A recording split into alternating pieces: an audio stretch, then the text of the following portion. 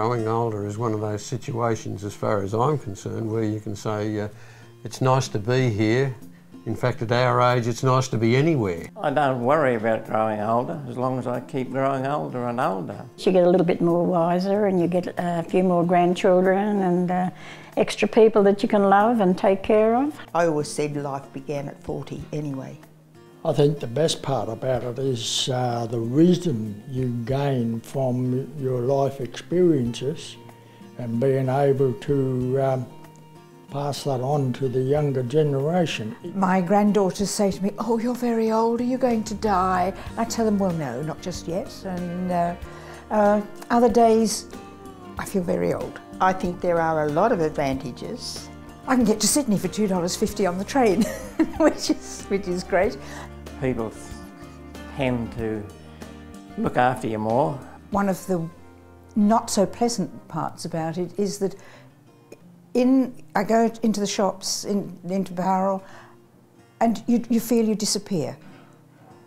You're, you're just young people are everything everything's done for them the shops are there for them but older people just disappear into the background so you've actually got to make an effort to get out and to be part of the community. And I think that's important.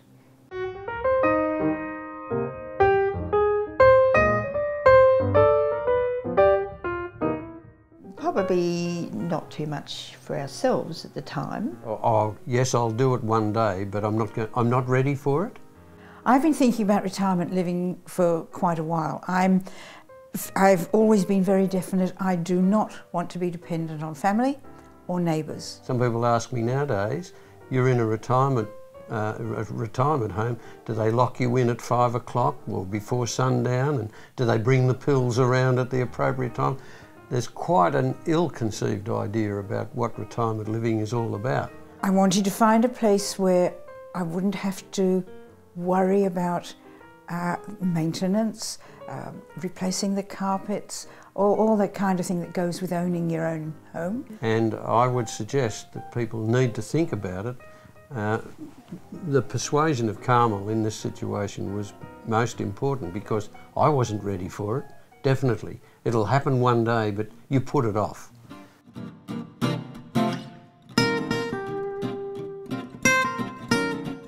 Uh, Warrigal Cares Retirement um, Village is wonderful. Um, I uh, I have no, no regrets whatsoever. I've been there for almost 16 years and I've never had any grouches really. I always relate the story of when Carmel takes the garbage out, she'll come back two hours later because people have said mm. good day to her, come in and have a cup of tea, all of that sort of thing occurs in a place like Warrigal Care here at Albion Park Rail. In fact, it's been very, very good um, my husband when he was alive and for myself um, then and now.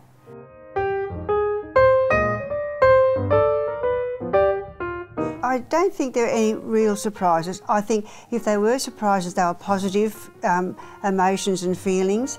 Um, actually, I think it's better than I anticipated because we are a community here. And uh, people say, well, oh, my neighbours are very good and all that. But there's a, a real bond, there's a real closeness to everybody here, and we all do our own thing. You see some people quite often, and you don't see some very much at all. But there is um, a very good community spirit here, and um, I think the, the extent of that community was a surprise. I didn't expect it to be as good as it is.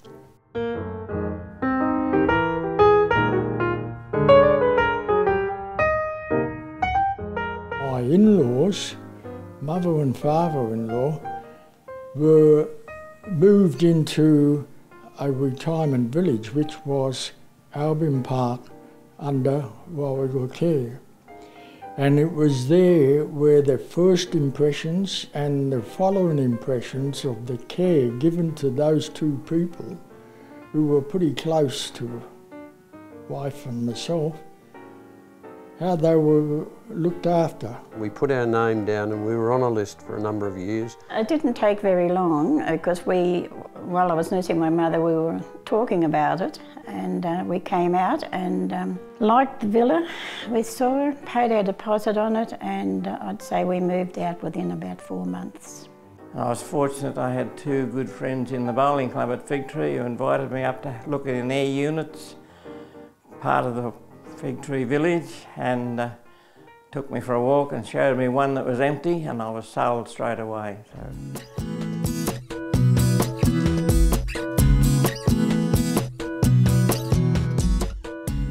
It, it was our decision to move into the retirement village.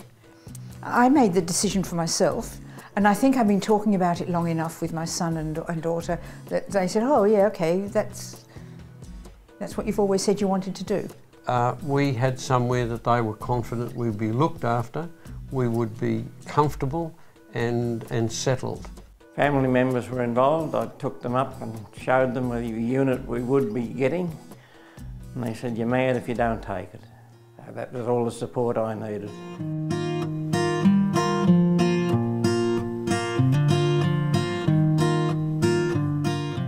Uh, some people were very worried that we were doing the wrong thing too early. Uh, why would you want to do this at your age? It's more your close family, your, your close community that you're with and get the support from them as you want to come in. We wanted to retain our independence um, and not be um, reliant on family. And I think you can leave it too late to come in. And um, we wanted to come in when we wanted to, not when our family wanted us to.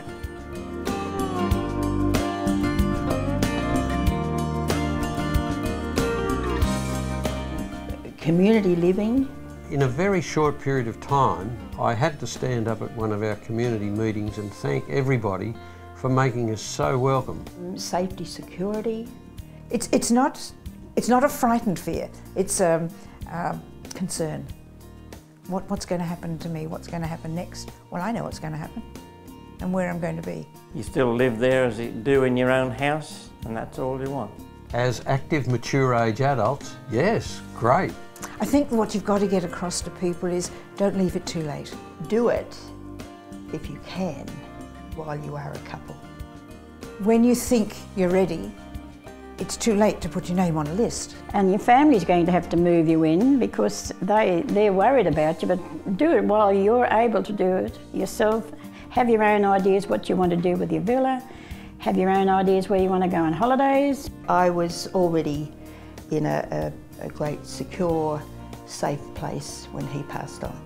Coming into Warrigal Care has added at least 10 years to my life.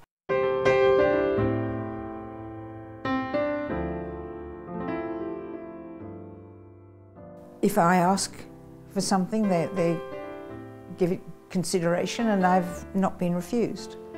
Caring for people. They offer respect. Security here, which is very, very good. They obviously are very good with their staff because the, the staff, all staff that we have met, have been courteous and friendly and very helpful. The gardens, well, I like to do my gardens while I still can, so I do. I can sit outside on the balcony have a coffee while my lawns are mowed for me. And I had the gardener out the front this morning doing some weeding for me because I can't get down anymore. Got our lovely community hall, and another thing that we're able to do is use that hall for um, our games. We have exercises there, we have our meetings there, we have a craft day, the men play their snooker, and of course, the cup of tea for 50 cents. Now that's great. But Warrigal Care have provided these facilities that we can use anytime. That's really great. We're all looked after, we're informed what's going on at the present and in the future. I've attended the ILU meeting last week and the facts that Mark Sewell gave us, something we want to hear about the future, assures us that the future of Warrigal Care is very bright. It was happy hour. Once a month we have our happy hour and we generally get anywhere between 18 and 20 people. And it's just a chat show. They value um, and give credit to the residents who uh, have certainly achieved something in their life. Warrigal Care does everything well.